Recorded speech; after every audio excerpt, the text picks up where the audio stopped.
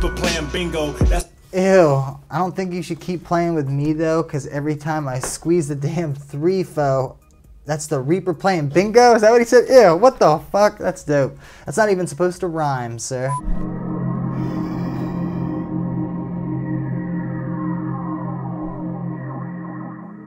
What's going on, guys? Andrew here with yet again another natural reaction. What the hell's going on, party people? It is good to see you. Good to see you.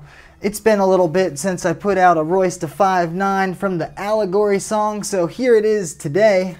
I'm not putting it out, it's just a reaction actually, but today we're to look at a black man's favorite shoe, an Upside Down featuring Ashley Sorrell and Benny the Butcher, which is exciting. We know Benny's from Griselda, which I've also been checking out and getting into. I got other reaction videos. By the way, if you're new here, please go down there and hit that subscribe button. I got daily content for you. And uh, you can also follow me at The Real Natural Reaction on Instagram. Anyways, let's just get right into it. I'm excited, still going through the allegory. Like I said, I haven't gotten too many comments or things on this, but I just love Mr. Royce da 5'9. The dude's got bars, and he's clearly trying to teach us something about money and uh, that kind of stuff. So yeah, let's just get right into it. This is a quick little skit that I still haven't heard yet. Black man's favorite shoe. Howdy. I'm, and I hate black people. They're the worst. They're stinky, and they just suck. They're just bad people. If you notice, Um, already this is bullshit. Whatever, whoever this is talking and saying that, I don't, I don't agree with that, and that's bullshit. Whatever he's saying, it sounds like a racist piece of shit. over there is a box of Jordans. Of course, Jordans. The favorite pair of shoes for a black man. I'm gonna show you what I think of a black man. Fuck all niggers. Jesus Christ. I'm not sure what lesson is supposed to be learned from that, but fuck that racist guy. Um, I pretty much knew he was going to bring like Jordans into it, but Jordans are dope. Michael Jordan's the best freaking basketball player of all time, so. And yeah, I just went there and said that. Fight me about it. Michael Jordan definitely is the best. I don't want to hear none of that LeBron crap. No, I'm just kidding. He's pretty good too, but seriously, fight me about it. Don't actually fight me. I'm sorry. Um, I'm not really sure what that was about, but that dude sounded like a racist piece of shit, and I definitely don't feel that way. So sorry about that. Um, let me know if you know what kind of message he was trying to get across with that one. Anyways, let's get into Upside Down. Uh, I think I talked to somebody in the comments uh, like a week or two ago about this. I think I said I watched another behind the scenes of a video, but this was the video I kind of saw a little little thing on Instagram or something. They had a little behind the scenes of this song, so that's exciting. Ashley Sorrell, I feel like she was in another song too, right? Um, unless this was the song that I already did, it could have been, but I don't think so. Either way, let's check it out. I haven't seen the video, so yeah. From the allegory, if you guys are following along, let's do this.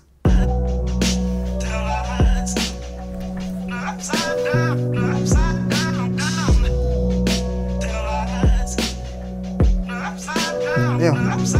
Um, that song does sound familiar to me, but like I said, I think I think I just watched like the behind the scenes. There was a quick video, which I think I heard Benny the Butcher talking, which is the original reason why I got into why I wanted to hear more about like what Griselda was up to or whatever. But yeah, and I know the director of this said it was uh, kind of like a church video, but it wasn't your typical church video that you're used to seeing. But anyway, yeah. So we got Mr. Pastor Man, we got Royce the 5'9", and Benny chilling. Let's see what's up with this.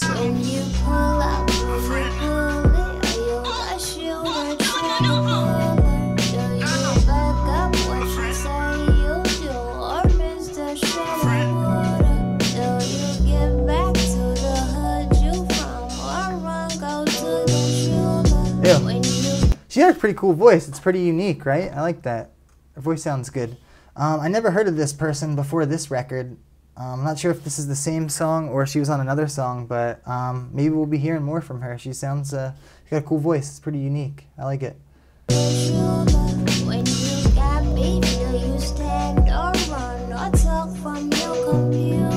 Talk from your computer? You got beef, do you stand or run or talk from your computer? you hiding behind them keys or you actually you reel out in the streets doing some shit about it? Nice. I like that.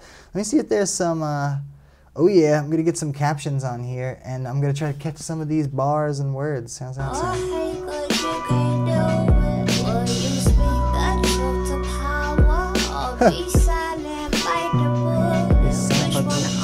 Apparently uh, the subtitles don't even work, so that's cool.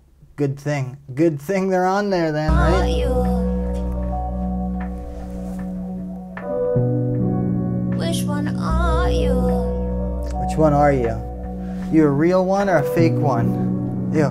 Why to get Man, hold on. Before he gets into it, I just gotta say again, I'm loving the whole feel of the allegory. It reminds me of like some dope ass, like like you know, like '90s hip hop or something. I'm pretty sure Royce is uh, producing a lot of this shit, or maybe all of it. I don't know, but it's pretty dope. I love like the general like tone and feel of all the tracks too. But let's get these bars. Let me go back just a touch here. Hold on, hold on. Why the gay niggas trying to fuck the straight niggas that's to fuck the gay bitches that look just like the straight niggas? Damn. Why the straight niggas that the gay bitches trying to look just like, trying to look just like the gay niggas? Damn. I must look just like the grave niggas. Uh, I'm so he's got balls for saying that stuff, but I mean, I guess I kind of agree. Like it's just a little confusing, right? A little confusing with all that. With I can't, I just can't keep the stuff straight anymore with how like what is politically correct to say about that or like how you feel. Like I don't know. I don't. I'm not like mad at people. You know, like do whatever you got to do with that stuff. But it is just like confusing and hard to keep straight, I guess. And maybe from that, it's like kind of what he's trying to say. That's what I'm getting out of it. Look just like the straight niggas. Why the straight niggas that the gay bitches tryna look just like, tryna look just like the gay niggas. I must look just like the grave niggas. You think you the people's champ cause people playing your single. But I don't think that you should keep playing with me though. Cause every time I squeeze a damn three-fold, that's the Reaper playing bingo. That's Ew. I don't think you should keep playing with me though, because every time I squeeze the damn three fo, that's the Reaper playing bingo. Is that what he said? Ew. What the fuck? That's dope. That's not even supposed to rhyme, sir. That's not even supposed to rhyme, but it a does. kilogram wrapped up on a Peter Pan. Probably doesn't sound as cool when I say it. and Prevost. Whoever think I'm here to make some corny ass radio Viacom jangle. Got my old diatribe tangle. Sitting high. Ew. I just love how real this dude is too. Whoever thinks I'm just, I'm gonna be making some corny ass Viacom like jingle, ew.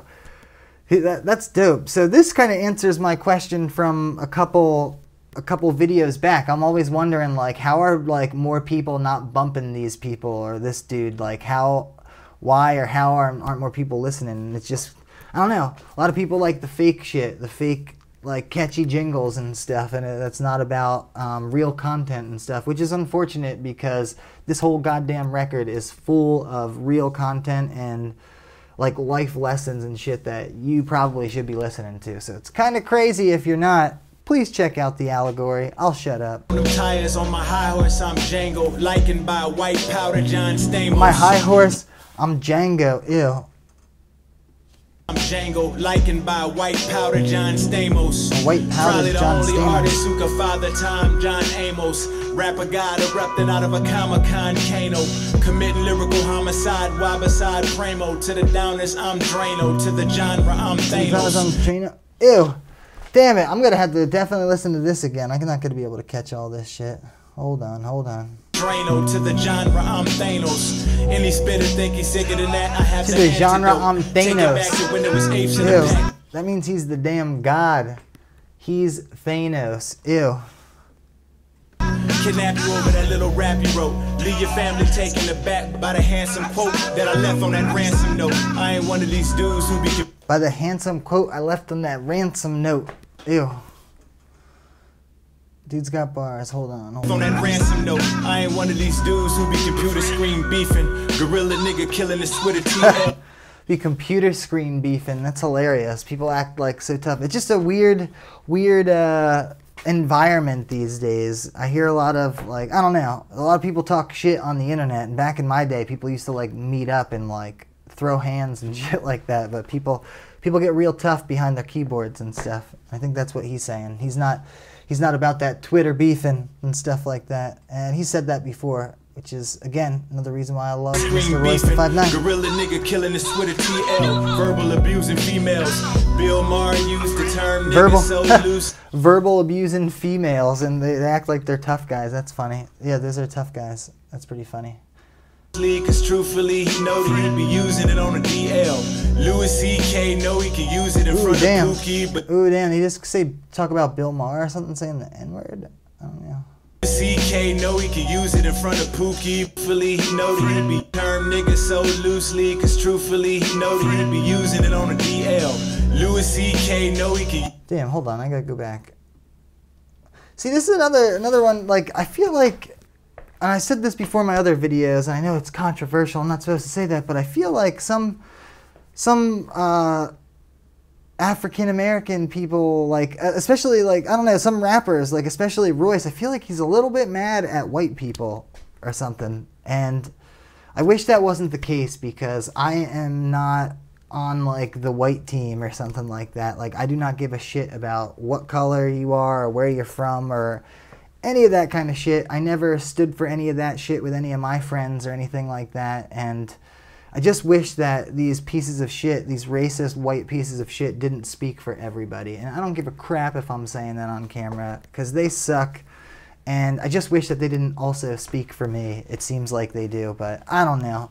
Anyway. to females. Bill Maher used the term nigga so loosely. Cause truthfully, he know that he be using it on a DL. I don't know. See, I, I don't know. I, I don't. I I never heard about the Bill Maher using it or whatever. But that's fucked up. I don't condone it, it, like anybody that's not. You know, you shouldn't be fucking saying that word if you're a white person. That's ridiculous. Don't be disrespectful and use that word. Like that's insane. know he can use it in front of Pookie, but know damn well that he wouldn't use it in front of DL. White kids graduate to relationships, a ton of perks. Black kids just aggravated and had to take a ton of perks. He come to church the first and 21st, and when it come to dirt, Gucci ain't the only ones putting black faces on front of shirts. Black women wanna be built like cartoon characters. Eric Cartman. Damn, you're saying a lot of real shit here too. Again, I just I just wish that like white racist pieces of shit didn't speak for me because that's just like an old man's old school mentality slash way of thinking and I hate that shit. I get I get the anger and the pain and everything where that comes from, obviously with the shitty history and stuff that we have. But uh yeah, it just sucks. I guess I feel that I feel like I'm lumped into a category for like no reason with that stuff, and it's unfortunate because I fucking love this man. Yeah, his his I like his bars. Don't get it twisted. That bears a striking resemblance to Sarah Baartman. Now Google that when you get a chance. You're gonna find out America. Google that when you get a chance. All damn. He see this stuff that he makes, man. He's making me so mad. I keep looking up shit and I keep like finding out. I'm telling you, the allegory has a bunch of life lessons in here, kiddies. You gotta check this out. That bears a striking resemblance to Sarah Baartman. Now Google that when you get it. The only ones putting black faces on front of shirts. Black women wanna be built like cartoon characters. Eric Cartman. That bears a striking resemblance to Sarah Baartman. Eric Cartman, Sarah Blartman. What does that even mean? Actually, why don't we just look that up right now? Why don't we literally just look that up right now? How about that? I can do that, right? It's my video. Eric Cartman. Damn it, if I could actually type Sarah Blartman, is that what you said? Uh, Eric Cartman, Sarah uh, Baartman, B A A R, the Fisking feminist. Oh, are they gonna talk about what? Was there like a racist South Park episode? Sarah Baartman.